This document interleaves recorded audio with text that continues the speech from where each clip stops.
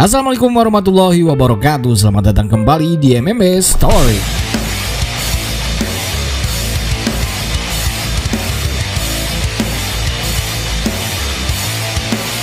Pertarungan UFC terbaru JK Saragi akhirnya diumumkan. Petarung UFC pertama dan satu-satunya asal Indonesia ini akan kembali tampil setelah sukses besar di laga pertamanya JK Saragi menggebrak oktagon UFC pada debutnya tahun lalu dengan KO spektakuler yang langsung mendapatkan performance bonus 50 ribu dolar atau sekitar 750 juta dari bos Dana White.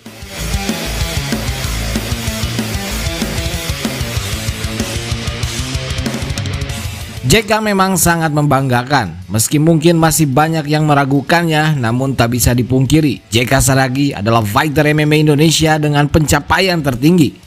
Prestasinya adalah yang terbaik di Santero Indonesia. Ialah pencetak sejarah bagi dunia MMA Indonesia dan kita adalah saksi sejarahnya.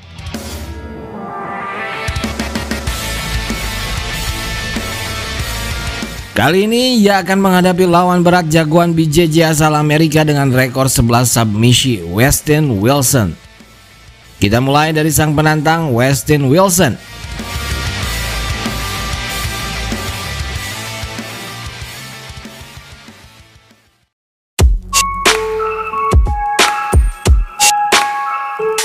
Wilson merupakan fighter yang cukup berbahaya dengan BJJ sebagai jurus andalannya. Ia membukukan 11 submisi dan 5 KO serta 3 winning streak termasuk kemenangannya di program TV TUF UFC yang membuatnya dikontrak UFC. Namun debutnya di UFC tak berjalan mulus. Ia di KO John Derson Britain dan kembali kalah KO di pertarungan keduanya oleh Zian Silva bulan Januari lalu. Dan inilah pertarungan ketiganya sekaligus kesempatan terakhirnya bertahan di UFC Karena UFC sering sekali memecat petarung yang kalah tiga kali beruntun. Apalagi Westin belum pernah menang sama sekali di UFC Jika Saragi adalah lawan yang benar-benar berat untuk Westin. Ia bertipikal sama dengan dua lawan yang mengkeonya maka bagi Westin, pertarungan atas adalah hal yang harus ia hindari. Ia harus sangat berhati-hati. Strategi terbaiknya adalah membuat setup-setup jebakan yang memancing JK masuk ke dalam perangkap jujitsunya. Karena walau bagaimanapun hanya itulah harapannya untuk bisa menang. Karena JK seperti yang kita tahu agak lemah di pertarungan bawah dan semua kekalahan JK datang dari submisi. Maka Wilson harus pintar-pintar memancing JK dan memainkan ritme pertarungan dan memaksimalkan semua peluang yang ada.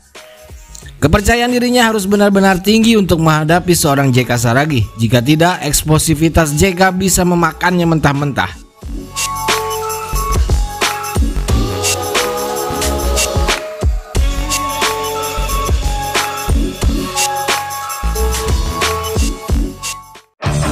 Artikel baru merchandise MMA Story Black Edition Desain keren gak pasaran, bahan 100% cotton combat, adem lembut super nyaman, warna black supreme hitam pekat. Bisa diorder di Shopee melalui link di deskripsi video ini.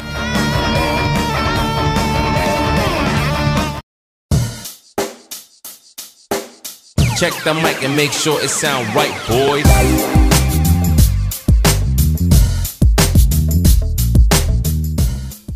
Kita lanjut ke jagoan kita JK Saragi. Peluang JK kali ini sangat besar. Ia diberi lawan yang seharusnya bisa menjadi makanan empuknya. Gaya bertarung Wilson yang lebih mengandalkan BJJ bisa menjadi kemudahan sekaligus kesulitan untuk JK Saragi.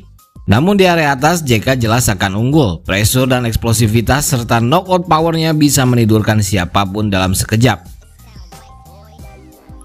JK sudah mempunyai kepercayaan diri yang cukup tinggi, namun mental bertarungnya harus lebih ditingkatkan lagi, apalagi ketenangan dan kedewasaannya, terutama ketika ia terjebak di ground. Daya juangnya harus lebih besar lagi karena kemungkinan untuk ia kembali terjebak di ground juga cukup besar. Bertahan di pertarungan bawah menjadi PR tersendiri untuk JK, apalagi lawannya kali ini merupakan jagoan BJJ yang getol mengunci lawan-lawannya. Untuk itu JK harus sangat berhati-hati jika pertarungan berlanjut ke ronde 2 apalagi ke ronde 3. Maka dari itu, eksplosivitasnya harus ia ledakan sejak awal ronde pertama sebagai efek kejut dan juga pengambilan peluang besar meng-KO Wilson tanpa banyak resiko. Rasanya JK sudah mulai kerasan dengan kultur MMA level tertinggi di dunia ini. Pengalaman empat pertarungannya di UFC serta berlatih dengan bertarung-petarung dan pelatih-pelatih level elit dunia sepertinya sudah membuat JK berkembang jauh. JK harus tampil lebih matang karena lawannya kali ini akan tampil habis-habisan karena situasi Wilson sedang sangat terdesak dengan ancaman dipecat UFC jika kalah tiga kali beruntun maka motivasinya bisa jadi akan berlipat-lipat layaknya bertahan hidup. Untuk itu, ketenangan dan kematangan sangat diperlukan JK untuk menghadapi spirit bertahan hidup dari seorang Weston Wilson.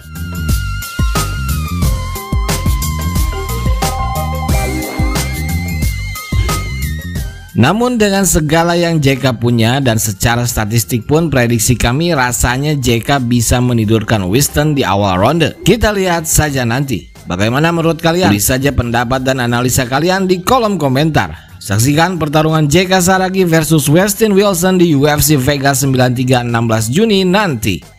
Terima kasih sudah menonton sampai jumpa lagi di video MMA story lainnya. Assalamualaikum warahmatullahi wabarakatuh. Thank you.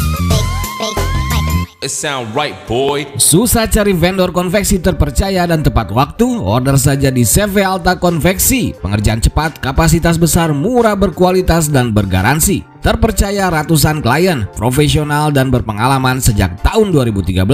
Siap mengerjakan partai besar maupun kecil. Minimal order hanya 12 piece. Menerima order pembuatan kaos, polo shirt, training olahraga, seragam kantor, PDL, jaket, rompi, jas alma mater, jasket, wearpack, tas, dan lain-lain. Gratis jasa desain dan konsultasi dapat dikirim ke seluruh Indonesia dan luar negeri. Untuk order atau tanya-tanya WhatsApp kami sekarang juga. Atau langsung datang ke workshop kami di kota Sukabumi, Jawa Barat Mat dari tujuh percobaan pembunuhan berencana, disebut-sebut kebal peluru bahkan bom, menguasai sepuluh bahasa baik lisan maupun tulisan. Karisma besar yang bisa membuat para pemimpin dunia terkesima dan terpengaruh.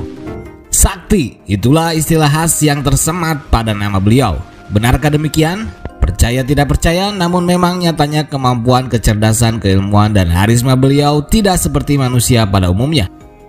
Kesaktian apa saja yang dimiliki Bung Karno yang menjadi legenda dan misteri? Langsung saja kita bahas.